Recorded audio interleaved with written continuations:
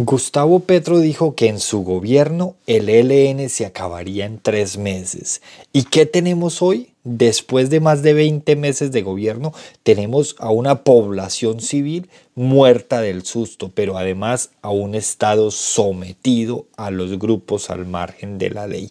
Háganme el favor, este fue el gobierno que prometió cambiarlo todo, pero es que además dijo que en su gobierno no íbamos a tener ni un solo escándalo de corrupción. Y hoy, por solo nombrar uno, el de los camiones de la Guajira, oiga, algo en común, este, este tipo como que tiene algo con los camiones, porque en su alcaldía fue lo mismo, pero con los camiones de basura.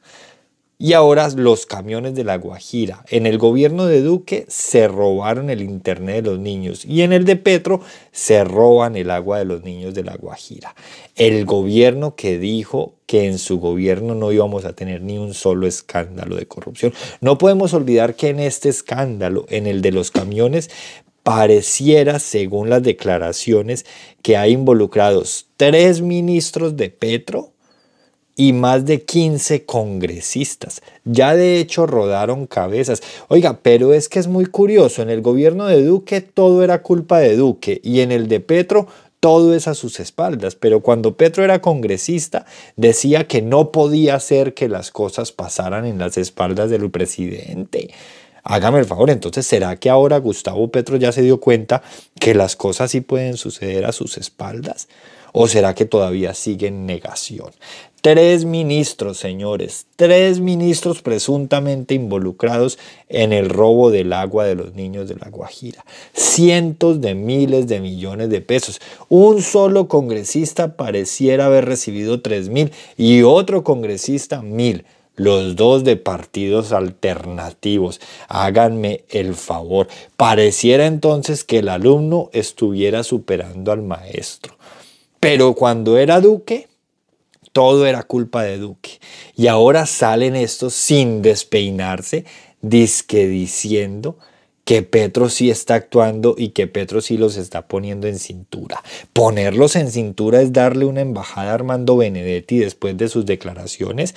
Ponerlos en cintura es haber sacado a Laura Sarabia y haber sacado a Benedetti para reintegrarlos meses después en mejores cargos en el caso de Benedetti. Eso es ponerlos en cintura. No, señores, aquí estamos frente a más de lo mismo. Pero no podemos permitirlo porque estos se hicieron elegir y se aprovecharon de un país que estaba mamado de la corruptela, se hicieron elegir con las banderas del cambio y lo que hizo, lo que pasó fue que sí hubo cambio, pero de protagonistas de corrupción. O sea, la corrupción pasó de un bolsillo para otro bolsillo.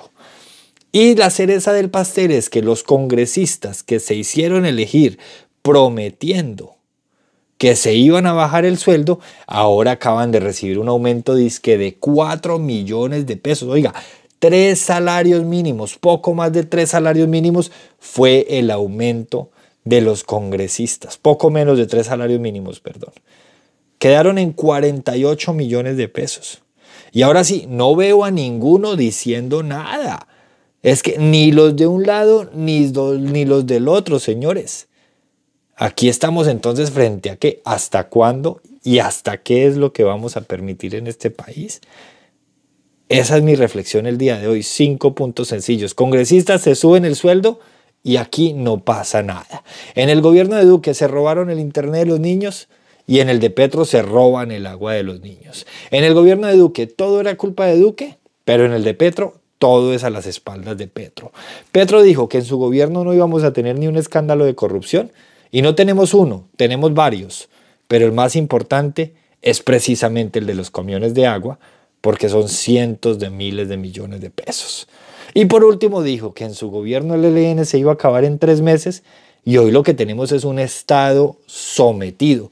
En Colombia están mandando los grupos al margen de la, ley, de la ley. Perdón.